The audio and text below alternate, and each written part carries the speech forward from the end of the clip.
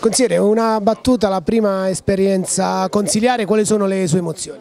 La mia emozione è il, il senso di responsabilità che, che pesa su di noi, più che un'emozione è il pensiero di dover, di dover, affrontare tanti temi importanti per la nostra regione. Avete avuto modo già di vedere il Presidente Bardi, avete già organizzato i primi punti in agenda?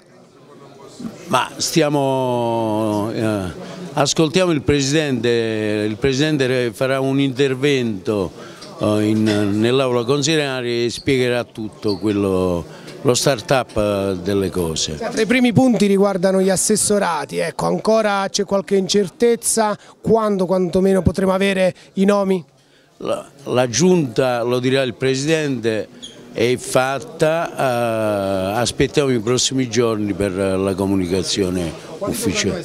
Eh, la Basilicata ha tante priorità, ha la priorità sanità, alla priorità ambiente, alla priorità immigrazione giovanile, alla priorità eh, del lavoro dei nostri ragazzi che eh, non si fermano più, eh, lo spopolamento, i borghi dell'entroterra che vanno morendo, ha tante cose in cantiere per cui noi lavoreremo per questo. Insomma.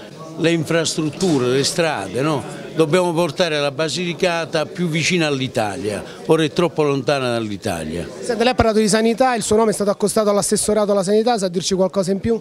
No, aspetta al Presidente questo.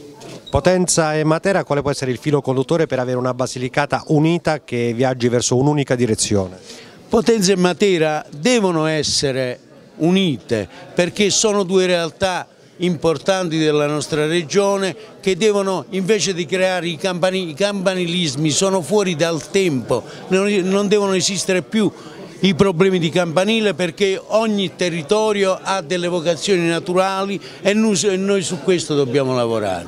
Per cui sarà un lavoro duro, difficile, eh, c'è volontà, c'è passione, io ho fatto il sindaco, Uh, e quindi so bene come si affrontano i problemi, ho un minimo di esperienza amministrativa per cui sono molto ottimista.